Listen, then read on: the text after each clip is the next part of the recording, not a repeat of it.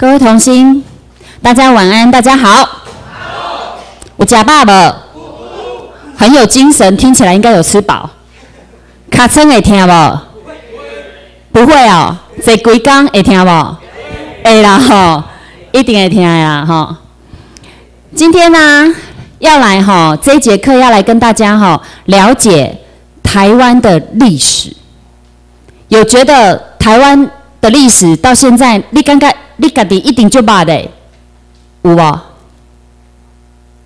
我哈有没有从昨天到今天听过这些讲师讲课之后，你有没有发现，哎，好像跟你小时候读的课本、历史课本有小夸无讲？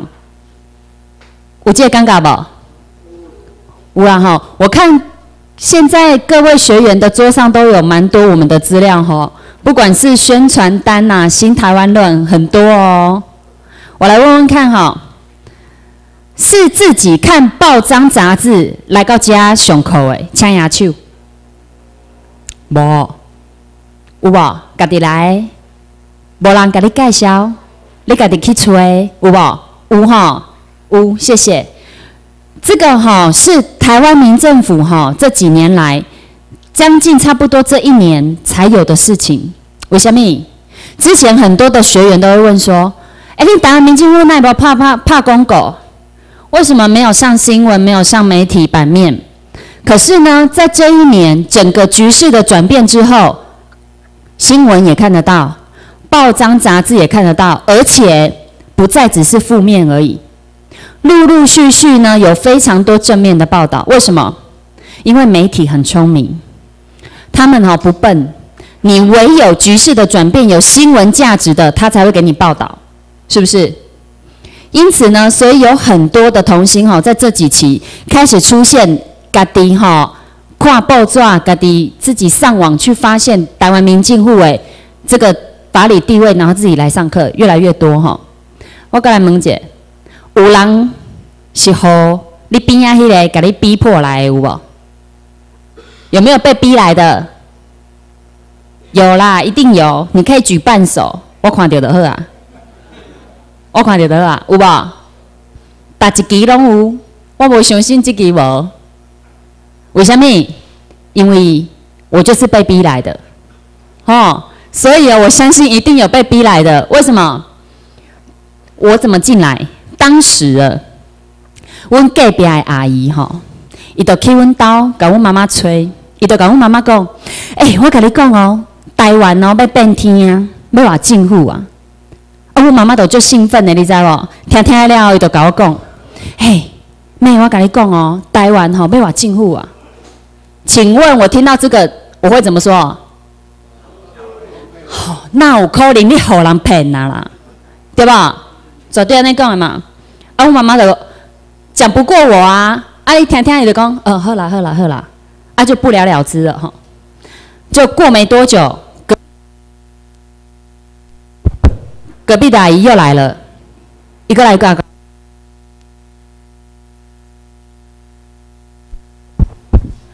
一个来甲阮妈妈讲讲啥？诶，我甲你讲，无安尼，你吼，阮台湾民政府吼有分州，啊，我们那个吼州办公室，吼遐有州长、知事伫遐，无你去州办公室听伊讲，安尼你会较了解。我妈妈听听了，个都个足兴奋呢。伊过来走来甲我讲：“诶妹，我甲你讲吼，伊讲吼，迄坐办公室啊有伊遐吼有足侪禁锢诶，吼有足侪迄台湾国际地位迄理论诶，无阮来听看觅。啊，你感觉我安那？无用啦，毋爱去擦黑啦，禁地吼就黑暗呢。我们吼好好做我们的老百姓就好了。”我们不要去，不要去碰政治，然后吼没空啦，无迄个银刚。啊，我妈妈就讲好啦，我来去条款买，我讲不爱啦，我不爱去啦，我无去，我没有兴趣，我也没有兴趣当官。结果我妈妈怎么样？使出大绝招，好，安尼我家己来，好啦，安尼我陪你去。无法当，我惊伊互人骗呐，对吧？我惊伊家己去，那被人家洗脑是安那？我想讲好啦好啦，无我陪陪伊去好啦。去到州办公室呢，听那个州长就讲一大篇，哦，那个台湾民政府啦，台湾呐以前的历史地位啊，然后讲讲讲讲完，出来之后，我妈妈就搞我问，你尴尬呐？我跟我妈妈讲，我从小到大读那个历史课本，第一次听到中华民国叫做流亡政府。我自细汉拄大汉无听过。我讲伊讲啥，我听无啦。什么中华民国流亡政府？我妈讲，嘛是吼，伊讲讲，我嘛是听无伊咧讲啥。我讲对啊，我读册不读对啊。为什么？在我这个年纪吼，很多都是政治能感，对不对？政治能感不会太关心国民党、民进党啊，说不定总统叫什么名字都还不一定很清楚哦。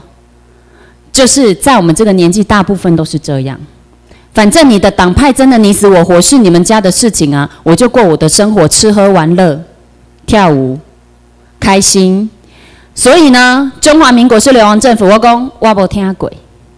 哎，啊，我妈妈吼，不要了嘞，辩不过我。伊个佫放弃放弃呀！伊讲好好好，安尼安尼咱咱等去，等去了好险，隔壁的阿姨没放弃，伊个来啊！哎，甲我妈妈讲，哎，安尼吼，我甲你讲，台湾民政府吼，中央有开课，开迄初级班甲高级班，你叫你怎么甲去上课？吼，我妈妈听来了，个足兴奋嘞！伊个个转来佫甲我讲，哎。然后，迄初级班吼有开课，无你去上课看卖。我怎么讲？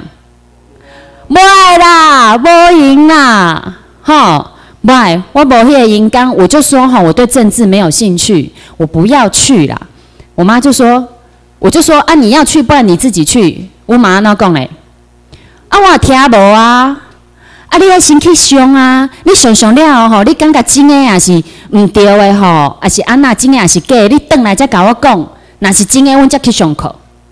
啊！你先去上，你较巧。我妈有讲话吼，我妈讲你较巧，你先去上。我嘛是不爱。结果了诶，他又使出大绝招。礼拜六、礼拜天只要一到，对不对？伊就开始呀。啊！你看电视啊？啊！你毋是有赢吗？厉害吧？厉害！就开始教我录啊，从早到晚一直教我录。啊，你去上来，去上，去上。到最后哦，我屈服了，因为什么？友好。好啦，好啦，伊欢喜的好啊。我就讲好，安尼我就去上。我就来到这里哈，跟各位同心一样，坐在这边三天两夜。所以讲我都有跟你问讲，卡称会听无？因吼，这家吼卡称会听，你真修久啊。听哈，这个课哈，听完三天两夜初级班了，请问我相信了没有？猜猜看，一半一半，半信半疑。我跟你讲，三天两夜的课我上完之后，我马上就相信了。阿亮有单纯不？主播一直不爱来不爱来是我对吧？三天两夜上完我就相信了，我就领进上课啊。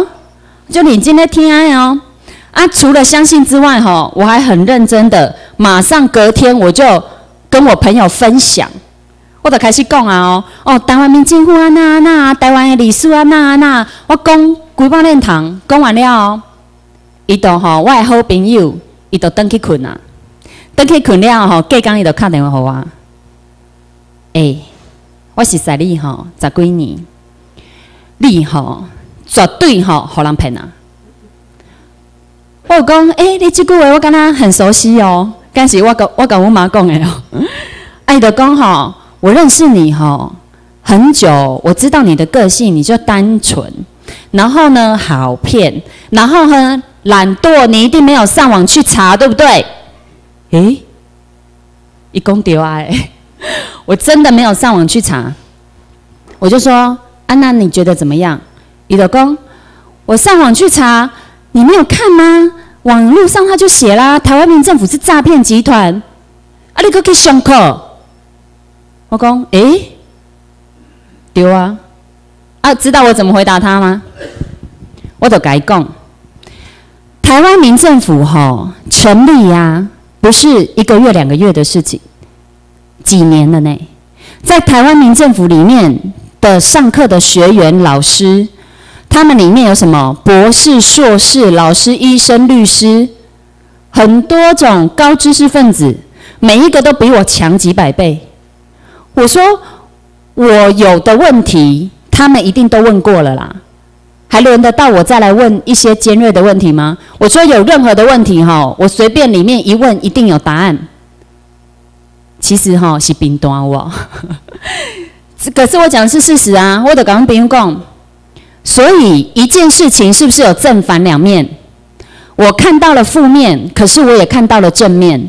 如果今天你没有给自己机会看到它的正面，你有资格去评断这件事情的真假跟对错吗？是不是没办法？我就直接跟我朋友这样讲，阿姨都赶快回宫，好啊。那旧金山和平条约第二条不是日本已经放弃台湾澎湖的主权权利了吗？嘿，他真的很认真哎，他没去上课哦，他可以问我这个问题哦。啊，你们知道我怎么回答他？我下个礼拜上完高级班再告诉你。不好意思哈，初级班刚上完哈，我还搞不清楚。所以现在在场的各位有没有很清楚？法理知识的，请举手。哦，那这个表示哈，可能原本对政治就很有研究哈。所以这个台湾的这个法理哈之深，为什么是日属美战？里面又有牵扯到三个公报、旧金山和平条约、台湾的战争之后的地位，到底为什么是现在这个状况？是不是还有点模糊，跟搞不清楚？很正常，很正常哈，因为不是这么简单，不然秘书长也不会读这么多的原文书，才找出台湾的真正的国际地位哈。所以今天呢，我会尽量的讲解，让大家尽量的能够去了解，好不好？好，啊，好，谢谢。我们这一班很热情哦，非常好。啊，我喜欢哈讲话哈，啊，你们可以回应我，好不好？好，谢谢。我们先来看到，来猜猜看，这个切成三块的这个地方是哪里？这么厉害哦！切成三块还看得出来是台湾，高哦，很厉害哦。欧洲人称台湾为 Formosa，在十三、十四世纪的时候，那时候呢，打开大航海的时代，大航海时代，当时他们来到。这个岛屿的时候，哇哦，那叫睡睡哦。Formosa 当时是欧洲人美丽的意思，他们就将这个名称赐给台湾，也就是 Formosa 美丽之岛的意思。所以台湾最早期以前叫做 Formosa 福尔摩沙哈。那为什么台湾切成三块呢？因为呢，早期的航海的航海图的技术不是很发达，所以一开始呢画的不是很精准呐。好，所以这个是台湾没错，台湾是一块的，不是三块。但是他们当时画的技术不是很好，所以开始画成三块。不过呢，这是最早期台湾的地图。哦，猜猜看，最早活动于台湾这一块岛屿的外来民族是谁？原住民就是现在的高沙族，他是原本居住在台湾的住民。那外来呢？荷兰。日本、西班牙、西班牙、葡萄牙，好，大部分都猜对不对？嗨，只有一个人猜对，是谁？日本哦。从现在开始哈，你开始检视你的历史记忆。在十三、十四世纪的时候，日本人已经在 Formosa 这块岛屿上。居住跟活动了，一直到一六三三年德川幕府的锁国政策禁止日本人赴海外发展才停止的哦。所以日本至少比中国在台湾这块土地上居住跟活动提早了有三百年以上哦。这个是历史文献原本就有记载的。可是哎，你会开始感觉到为什么开始跟我们读的历史书有一些差异？慢慢的，你就会了解到我们的历史课本是如何被篡改的。哈，那刚刚有讲到荷兰，对不对？荷兰是在一六二四年的时候，他还得获得什么？日本的德川幕府的许可。荷兰呢，它必须每年向日本的德川幕府进贡三万张以上的鹿皮，日本才允许它在台湾这块岛屿上活动。哦，所以荷兰都必须经过日本的同意哦。那当初呢，荷兰它为什么要选择台湾？为什么要来台湾？因为当时的西方国家跟东方国家，西方的世界最喜欢东方的什么东西？瓷器、丝绸，对，那个哈，瓷器跟丝绸对西方的国家来讲，当时相当于他们的黄金一样有价值，就有 get 的。所以讲哦，荷兰哦，他当中他也想要分一杯羹，伊嘛想要探这钱，哎，因为探这钱要要谈。他是不是要选择一个地方做他的转运站，好来连接东西方的这个贸易的这个道路？所以他一开始是选择澎湖，可是澎湖离当时的大民国哈有点太近了，所以大民国就出兵把澎把荷兰人赶走。那荷兰人第二次就选择哪里？台湾。如果荷兰。人他当初选择台湾是以经济利益、贸易为转运站，请问他会不会好好对待台湾的人民？不会。有没有听过红毛鬼子？哇，就是指当时的荷兰人。有没有去过红毛城？淡水，有无？当时他们荷兰人在这边留下的盖的那个军事基地，然后台南的那个安平古堡，有无？刚去过。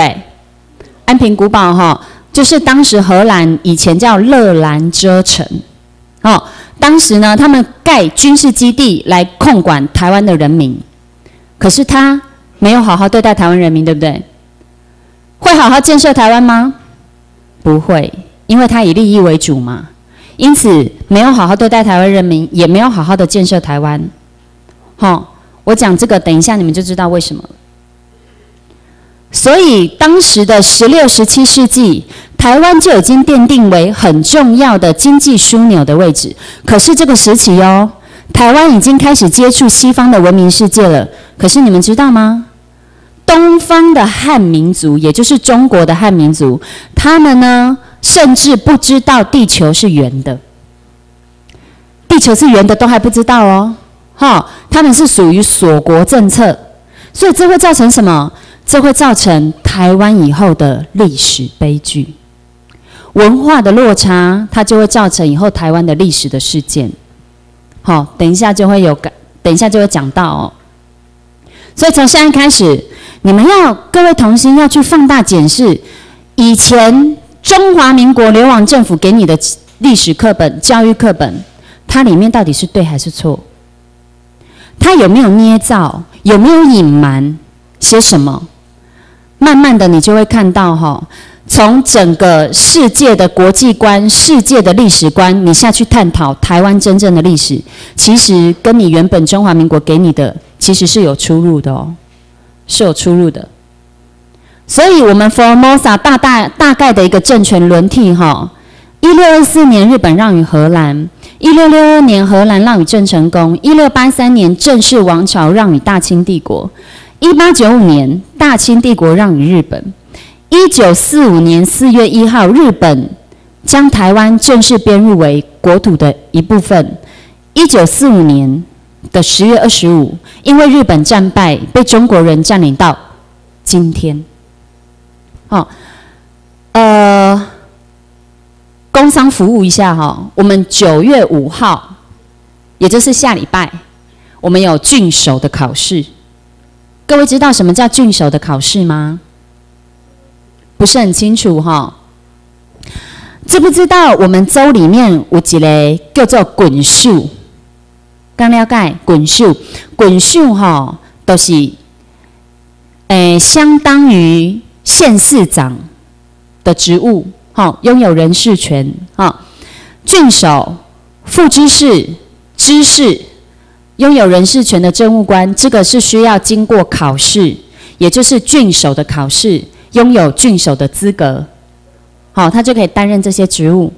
那我们下个礼拜九月五号有郡守的考试，好，这个不是常常在办的哈，所以很难得的机会，刚好各位你们这个初级班上完，下个礼拜会遇到郡守的考试，我鼓励各位同心都去考，去考考看，哈，有兴趣的考考看，年轻的哈，尽量的去考考看，考考看自己对法理的尝试也好。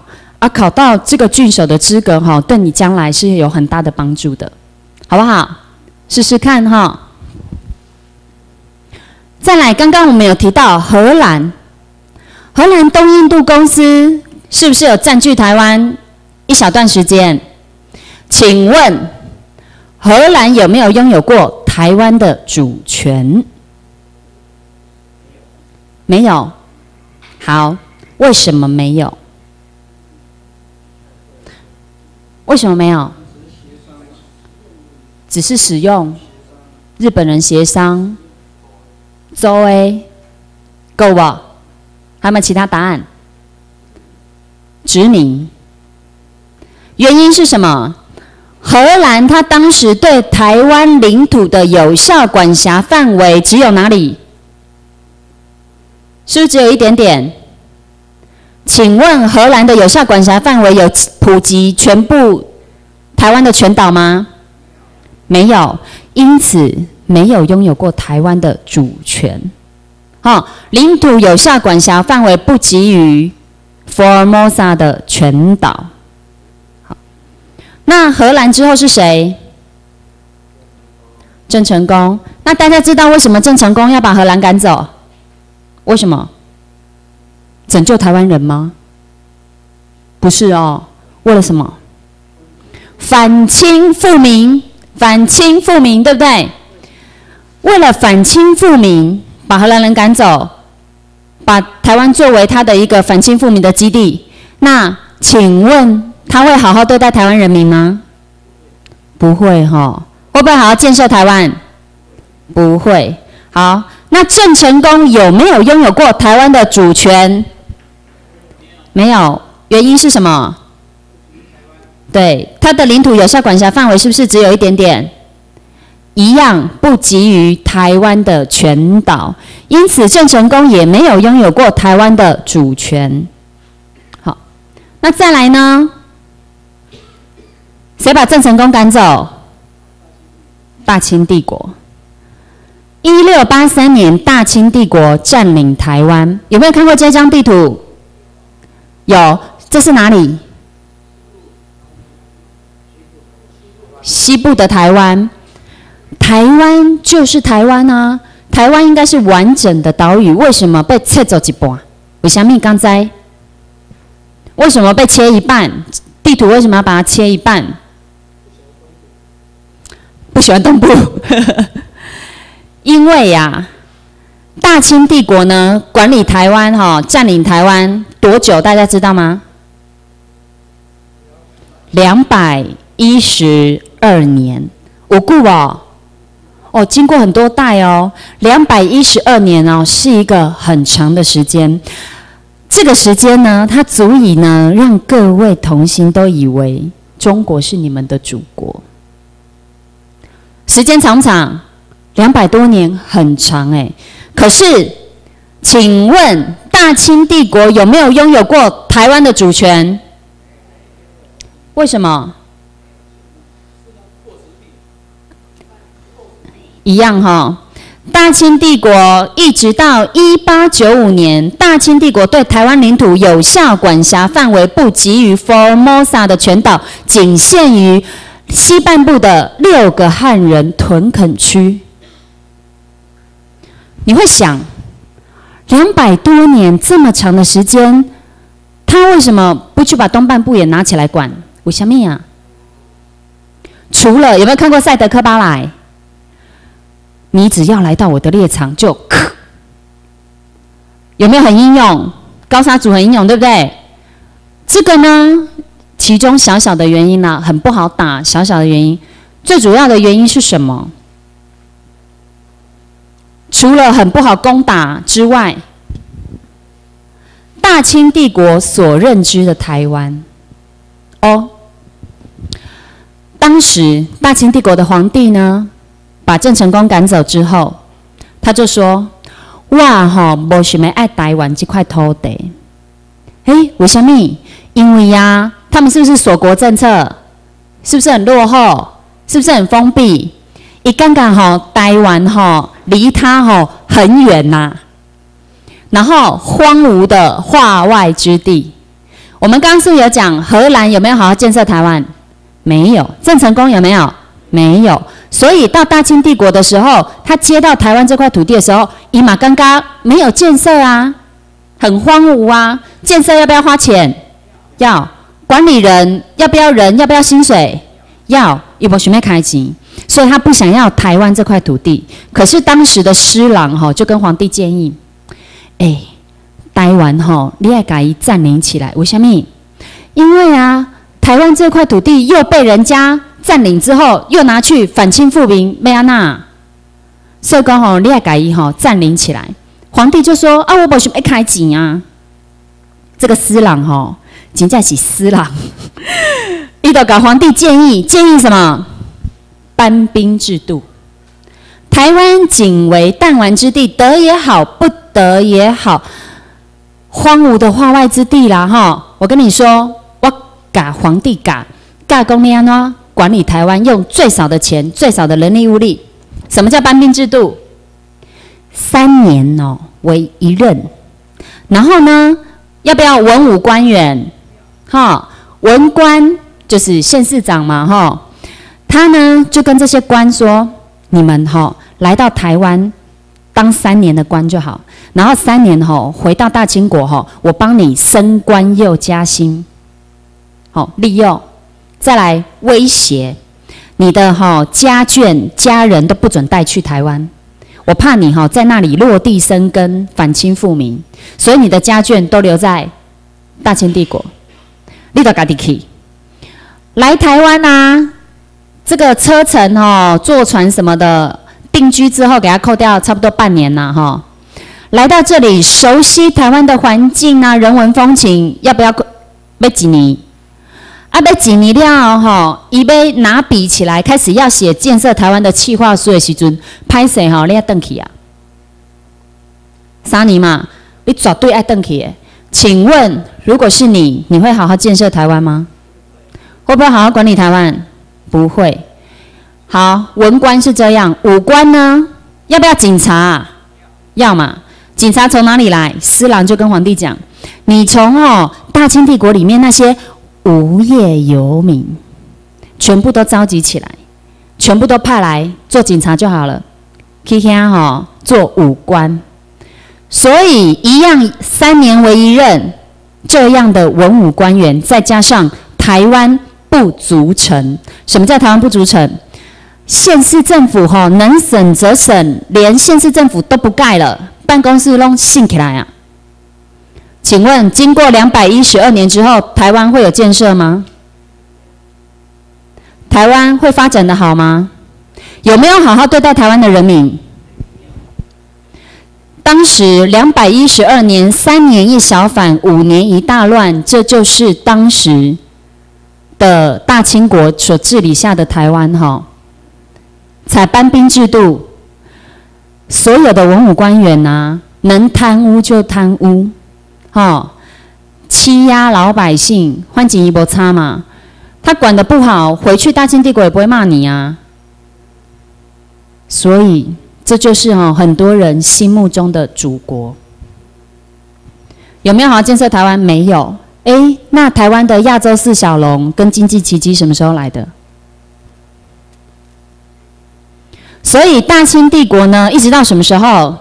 一八八七年才完成台湾建省。换句话说，大清帝国在占领台湾 Formosa 的西半部的时候，两百零四年后才宣布将台湾并入他的版图。诶，请问我们有属于过并入大清帝国的版图有成功吗？没有，为什么？对，刚刚有讲过，对不对？大清帝国的领土有效的管辖范围不及于 Formosa 的全岛，仅限于西半部的六个汉人屯垦区。所以换句话说，台湾从来没有属于过中国，哎，了解吗？哈，我们从来没有属于过中国，因此中国它刚开始哈不读册，伊吼就是讲吼台湾甲澎湖是伊的，伊即嘛吼有读册啊，伊唔敢讲啊，他只说台湾跟澎湖是他的核心利益，不敢再说台湾跟澎湖是他的。好，这样了解吗？可是呢，我们记忆中的那些历史的记忆是怎么一回事？我们被冲击了什么文化？台湾最早最早的文化是什么？我们有没有平埔族？有没有高沙族？我们信仰什么教？哈，嗯，在有没有？大家有没有想过一个问题？台湾经过荷兰、郑成功、大清帝国，可是这些外来民族为什么台湾自己本身不是一个国家？因为台湾呢，最早最早，我们是不是有很多的部落？有没有什么阿美族、泰雅族这些族？很多个部落情形下，没有共同的语言，没有共同的文字，没有共同的制度跟书，因此它没有办法形成一个完整的国家。形成国家要有条件嘛，所以因此台湾一直以来很容易被外来的民族给统治，原因是在这里。可是我们要了解什么？最早最早，我们的祖先平埔族、高沙族，我们是什么？没有文字，没有书，我们只有代代相传、灵魂不灭的传说。爸爸都跟小朋友讲：“哦，问那祖灵啊，那那哦，我们的过去怎么样？都是用口述的。”好，没有文字，没有书，这是最早期。那我们被冲击了什么文化？我们是不是有讲到荷兰？荷兰来台湾占领的时候呢，除了将台湾当做转运站、经济利益的转运站之外，它还有一个很重要的目的，就是传教。它除了通商之外呢，它还有一个重点，它当当时的高沙族的长老都聚集起来，然后叫他们信仰。基督教有没有发现？现在很多的高沙族都是信基督教，有没有？好，我来问哦，有没有出过国？没有出过国，也有看过国外的电影什么的。美国都是信什么教？基督教、天主教。日本呢？神社拜神社。台湾呢？道教。佛教、基督教、天主教、睡觉，很多的教。为什么讲到台湾，你会发现，哎，台湾怎么没有一个像人家国家统一的一个教？有没有？有吧？为什么？这就是台湾的历史，哈。我们呢是本土台湾人，我们台湾人有属于台湾的历史文化。我们台湾的历史文化就是被影响，当时呢被荷兰影响了基督教，后来被影响了什么？春节、端午节、中秋节、清明节、元宵节、中元节、七夕过年，请问它是台湾人本土台湾人的节日吗？不是，那是谁的节日？中国的节日有没有冲击？哦，我领了那么多年的红包，祖岁喊那个大喊，结果它是不是本土台湾人的节日哦？它是在大清帝国占领台湾的两百一十二年当中所带来的属于中国的文化，所以台湾啊才会有很多人信的教派都不同。没有关系哦，秘书长有说，台湾民政府啊执政之后，我们将东西方最好的文化、最好的制度都来用在台湾，好不好？如果今天烧那个金子会破坏大气层，而我们改成鲜花，会塞不？会塞啊！为什么会塞？我们将最好的文化、最好的制度来用在台湾，来创造台湾自己本土台湾人的文化。台湾人的制度好不好？哦，这是我们的希望。所以，台湾被冲击的文化，我们要了解。最早期，我们是代代灵魂不灭的传说。后来呢，受到了荷兰的影响，还有中国的影响，所以才有台湾现今的文化历史。哦，这样集体潜意识的文化造成很可怕的魔咒。这个魔咒就是什么？隔壁阿姨阿姨来跟我妈妈跟我讲李红盆，这都是魔咒。来了解吗？有没有看过这个合约书？一八九五年，大清皇帝正式将台湾及澎湖永久割让给日本天皇。来看这合约书哦，大清帝国大皇帝陛下、大日本帝国大皇帝陛下，皇帝陛下跟皇帝陛下签的。然后呢，签什么？台湾全岛及所有附属岛屿、澎湖列岛及纬度，巴拉巴拉巴拉巴拉。有没有发现它看起来很像什么？这一张合约书看起来就像啥？土地权状，有行不？它就是台湾的土地权状。当时呢，甲午战争，哈，大清帝国战败，他签订了什么《下关条约》，也就是各位读的《马关条约》，日称《下关条约》。我们签订了这一张条约。正式将台湾及澎湖割让给日本天皇，所以这就是我们台湾的土地权状哈。从这一张条约土地权状，一直到现在，包括旧金山和平条约，没有任何一个条款有再将台湾跟澎湖给割让出去。哦。没有任何一个条款有再将台湾跟澎湖给割让出去。那我们割让给日本天皇之后，我们就进入什么时期？日治时期。日治时期统治台湾几年？差不多五十年了哈。五十年长还是短？好像普普通通哦，不会很长，也不会很短。如果跟大清帝国的两百一十二年比，它才是。四分之一而已，哦，是不是？可是你知道吗？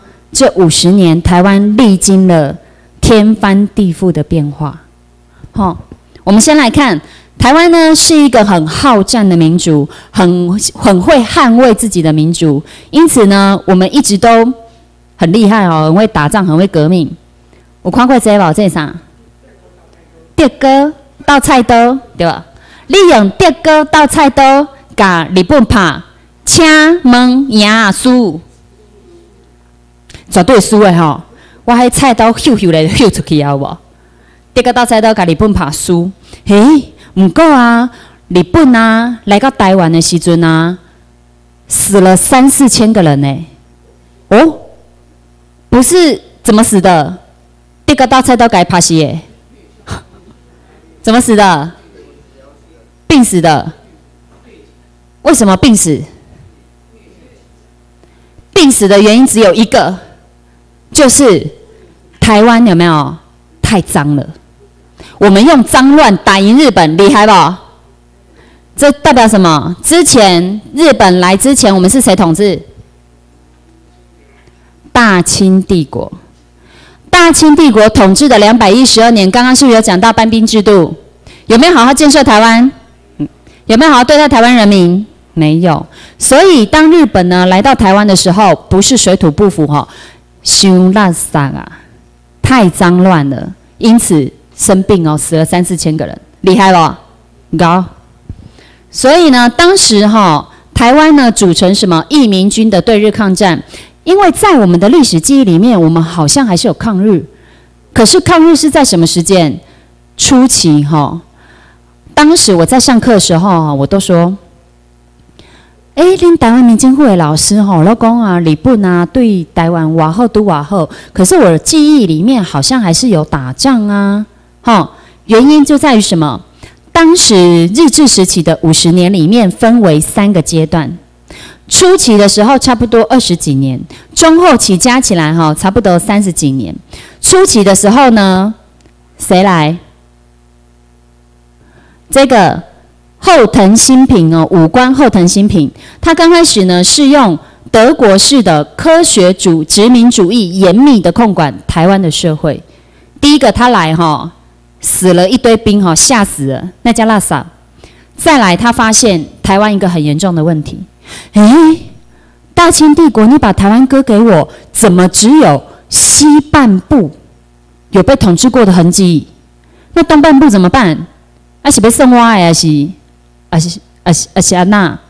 所以日本哈，他就问美国，告诉他说：“你要像我们征服印第安人一样，用武力征服。”所以。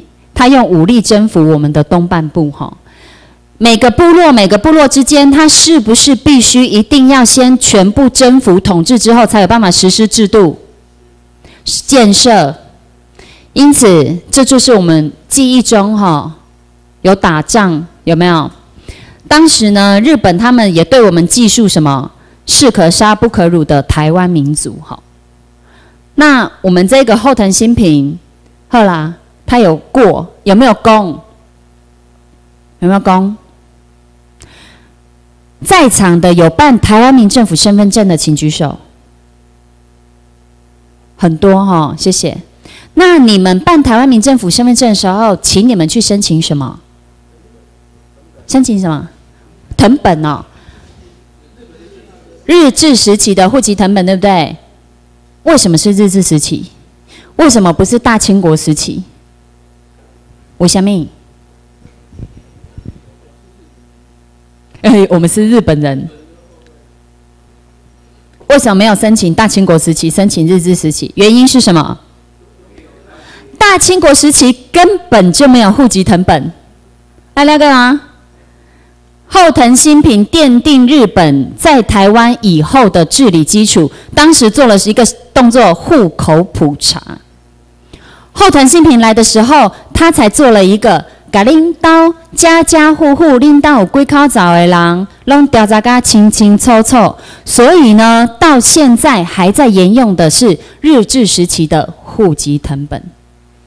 大清国时期两百一十二年里面根本没有，他不管你死活啊。一直到了日治时期的时候，才做了户口普查的动作，还做了什么？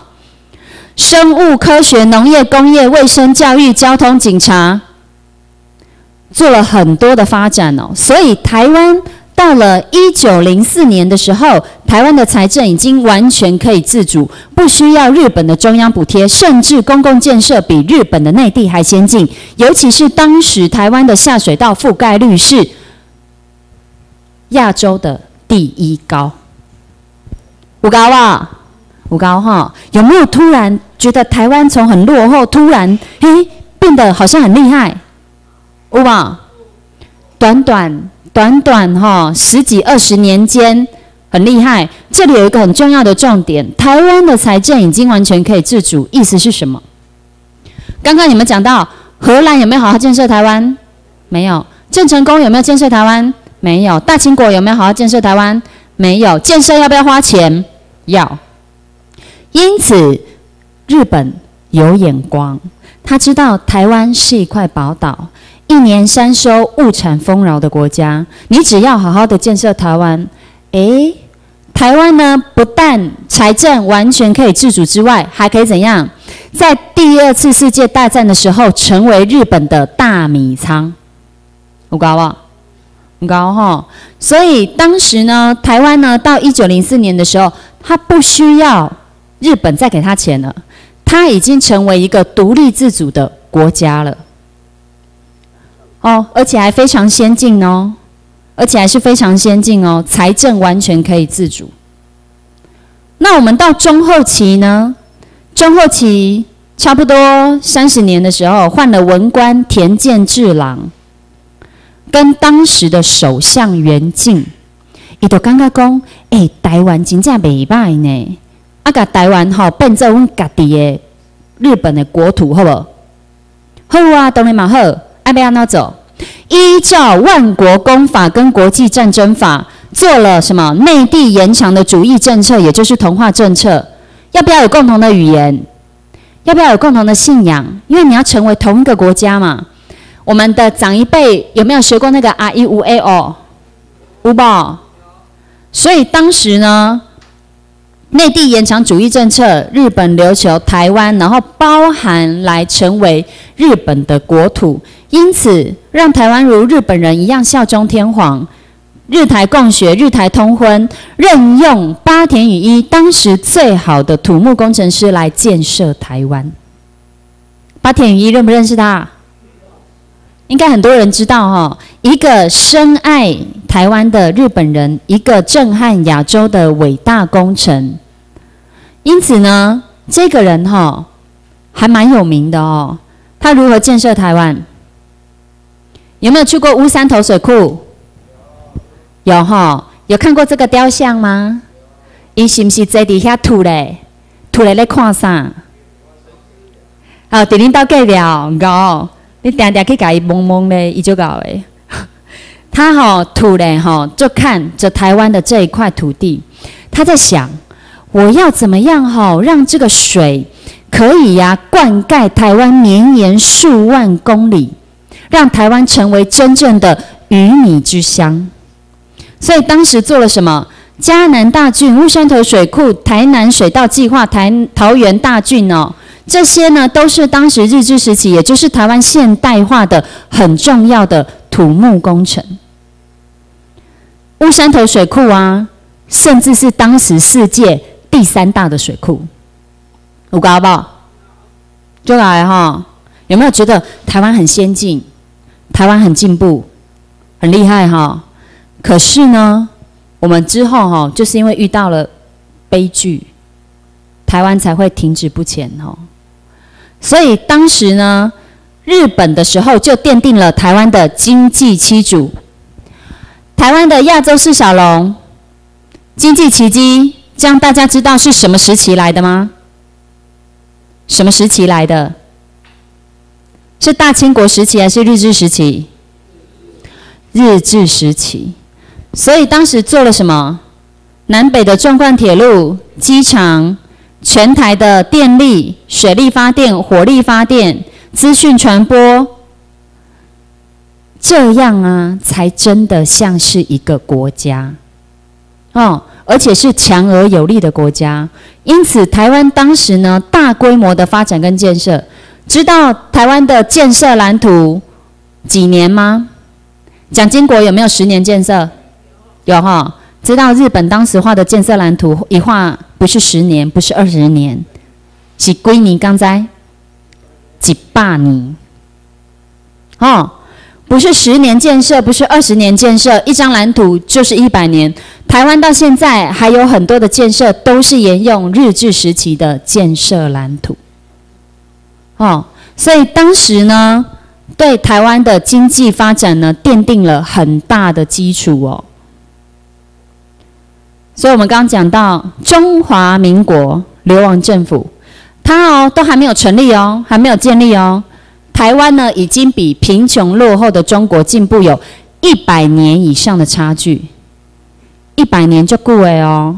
这是文化上的落差，经济上的落差，各级的行政、司法机关、警察系统、户政系统、农会、金融、财政体系及普及全岛的初级教育，普及全岛的初级教育有多么的重要？现在啊，请各位就在这里随地大小便，一下不？李刚美，不要。不要哈，有没有看新闻？中国到现在都还随地大小便，告快点吧！到现在都还这样，你想当时跟我们的文化落差有多大？有多大？所以当时一九四一年，台湾平均一千人有五台电话，中国到四十二年后才达到这个标准。一九四三年，台湾儿童就学率已经达到百分之七十一点三，中国在二十年后也才勉强达到这个标准。这样的文化落差，就是造成台湾以后的历史事件。哈，这些学生跪着在干嘛？在读书，对不对？读书为什么在跪着不坐着？对，培养什么武士道的精神。哦，这个也对台湾在战后哈有很大的影响。有厉害啦吼，起码佫会使坐咧读册有无？佫会使困啊！以前哦，来跪咧读册，你看这些学生有没有很可爱？头发很整齐，鞋子很漂亮，我妈妈看到这一张哈，伊就甲我问讲：，哎，因啊，读册时阵有鞋啊通穿，我细汉时阵读册时阵，佫无鞋啊通穿了。我就讲：，哎，妈妈你未足老的呀？啊，你绝对不是日治时期以前嘛，一定是日治时期以后嘛。那你日治时期以后没有鞋子可以穿，那是代表什么时期？中华民国流亡政府在台湾的时候，那表示进步还是退步了？退步哈。当时有多少的人饿死街头哈？等一下会讲到。这一张是台湾呢，也就是第一所成立哦，日治时期的时候。成立由台湾人就读的小学，然后呢，他们打赢了日本的棒球队。哦，不好意思，我也吓一跳。他们打赢了日本的棒球队，然后合影留念。啊，合影留念代表什么？代表我们很厉害。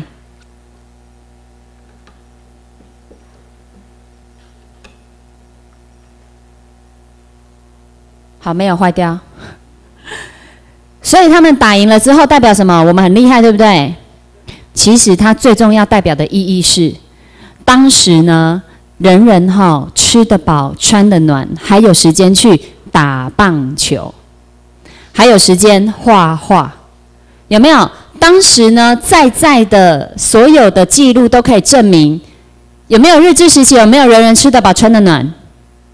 这个陈澄波呢，他也是当时很有名的一个画家哦，很多人都认识他。等一下我还会讲到一些安那戏耶。所以呢，大家可以从这些了解日治时期的时候生活有没有过得很好？有，生活有过得很好哦。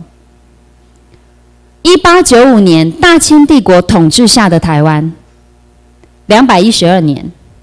日治时期改正后的宽敞道路五十年，两百一十二年五十年，有差不？有拉萨不？有清气不？有。啊两百一十二年五十年，你们觉得大清帝国有没有好好对待台湾的人民？没有，还很多人觉得他是我们的祖国。哦，终于，日本天皇哈，他下达了诏书。什么意思？他下达这个诏书呢，要将台湾跟澎湖并为日本的国土的一部分。一九四五年四月一号颁布了明治宪法，从这一刻开始，台湾呢就成为日本神圣不可分割的领土之一。什么叫神圣不可分割的领土？有没有看到台湾？这个是哪里？日本。哦，这是日本，Japan，日本，所以这个是日本的地图。台湾有没有在里面？有，我们在日本的地图里面哦。所以这个是什么？当时哈神圣不可分割的领土，就是我们刚刚有没有看到？我们签甲午战争是不是有签一个下关条约？大清帝帝国的皇帝他将台湾跟澎湖割让给日本天皇，对不对？当时呢，除了台湾跟澎湖之外，还多割了一个地方，叫做辽东半岛。他割给日本之后，就有三个国家出面抗议。但呢，辽东半岛是大清帝国神圣不可分割的领土，不可以割给你日本天皇。哦，所以日本天皇他就说：为什么？因为当时辽东半岛，也就是当时大清帝国满清。的起源地奉天，好，辽东半岛是大清帝国的起源地，因此它是大清帝国神圣不可分割的领土之一，因此不可以被割让。所以日本天皇呢，就遵照了万国公法跟国际战争法，他又签订了一个辽南条约，再将辽东半岛割还回去给大清帝国皇帝。所以从这一点可以了解。台湾跟澎湖成为日本神圣不可分割的领土的时候，它可不可以再被割让？还可以被割让吗？不行。那从刚刚下关条约之后，一直到现在也没有任何一个条款有再将台湾跟澎湖给割让出去，因此台湾跟澎湖这块土地的领土主权还在谁的手上？日本天皇的手上。哦，当时呢，日本完全依照万国公法跟国际战争法，它除了内地延长主义政策、同化政策之外，它赋予了台湾人参政权。下达了征兵令，颁布了宪法，一切依法行事，所以台湾跟澎湖是合法的，成为日本天皇神圣不可分割的领土，一切合法哦。哦，接下来我们就进入到第二次世界大战，我们休息十分钟，动动，我们下一节课回来继续，谢谢大家。